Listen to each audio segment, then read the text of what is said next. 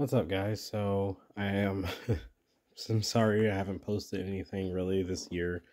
Um, I've been really cutting back on how much, how many, or I should say, how many pictures I've been drawing. So this is kind of what I've been working on this year, and it's going to be a really big picture, and so I'm just taking my time to, um, just really work on this one piece. Um, so I don't know when it will be done.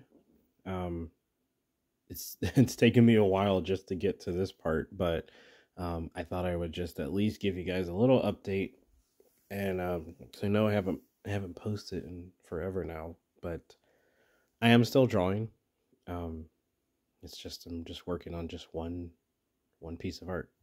So um, I'm pretty happy with how it's coming along. I've got like all this cool detail going on on it. I got all these like little scratch marks and stuff. And I'm really trying to work on getting the texture done properly to make this actually look like it's um like it's like shiny, like a metal texture.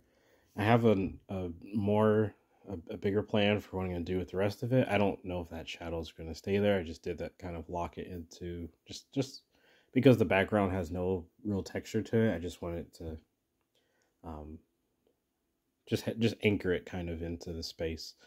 Um, but anyway, so I'm I've worked a lot on this trying to get it to look proper, and um, I still have a good ways to go. I'm still doing cleanup work. I'm still doing texture work. So I don't know how long this is going to take, but I did want to update you guys just with you know at least something that I'm working on.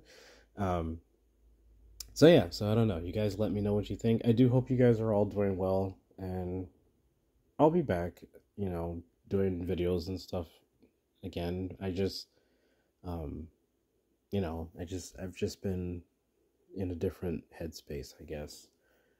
Um, so yeah, so I do miss all of you guys, and uh, I do miss posting videos for you guys. I, I just, I honestly just need I just need a break from YouTube and kind of everything digital to some degree. Like I really cut back on how much VR I've used and um I've been trying to be outside as much as I can. I've been riding my scooter a whole lot uh, more on the days that I can because the weather's kind of crappy, but um it will pick back up. So I'll be back, but I just wanted to give you guys a short little update, but I am still drawing. So Anyway, that's it for now, and I will see you guys soon. All right, bye.